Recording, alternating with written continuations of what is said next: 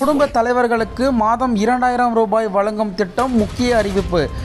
வெளியிட்ட கர்நாடக முதலமைச்சர் பெண்களுக்கு இலவசமாக பேருந்து திட்டம் ஏற்கனவே நடைமுறைக்கு வந்த நிலையில் இதர திட்டங்களுக்கும் இன்று நடைபெற்ற அமைச்சர் கூட்டத்தில் ஒப்புகை அளிக்கப்பட்டுள்ளது. கர்நாடகாவில் அண்ணாமலை நடைபெற்ற அண்மையில் நடைபெற்ற சட்டப்பேரவைத் தேர்தலில் காங்கிரஸ் கட்சி அறுதி பெரும்பான்மையுடன் வெற்றி பெற்றது. இந்த தேர்தலில் காங்கிரஸ் கட்சியின் சார்பாக வெளியிடப்பட்ட தேர்தல் அறிக்கையில் ஐந்து முக்கிய வாக்குறுதிகளை வெளியிட்டிருந்தன. பெண்களுக்கு இலவசமாக பேருந்து அனைத்து குடும்பத்துங்களுக்கும் இரண்டாயிரம் யூனிட் இலவச சாரி இரு இருநூறு யூனிட் இலவச மின்சாரம். குடும்ப தலைவர்களுக்கு மாதம் இரண்டாயிரம் ரூபாய் உரிமை தொகை. வறுமை கோட்டிற்கு கீழ் இருக்கும் குடும்பங்களுக்கு பத்து கிலோ விலையில் அரிசி விலையில்லா அரிசி.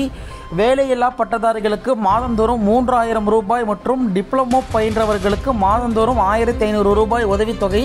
ஐந்து வாக்குறுதி திட்டம் செயல்படுத்த இருக்கிறது. இந்த திட்டங்கள் செயல்படுத்த ஐம்பதாயிரம் கோடி ரூபாய் தேவை என்று தெரி தெரிகிறது. பெண்களுக்கு இலவசமாக பேருந்து திட்டம் ஏற்கனவே நடைமுறைக்கு வந்த நிலையில் இதர திட்டங்களுக்கும் இன்று நடைபெற்ற அமைச்சரவை கூட்டத்தில் ஒப்புதல் அளிக்கப்பட்டது.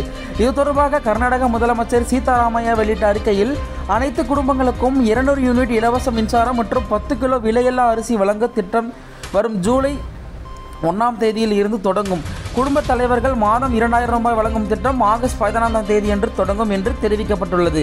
இதே போல லேட்டஸ்ட் நியூஸ் நீங்கள் தெரிஞ்சுக்கணும்னு நினச்சிங்கன்னா மறக்காமல் நம்ம சேனலை சப்ஸ்கிரைப் பண்ணி சப்போர்ட் பண்ணிக்கோங்க. தேங்க்யூ ஃபார் வாட்சிங்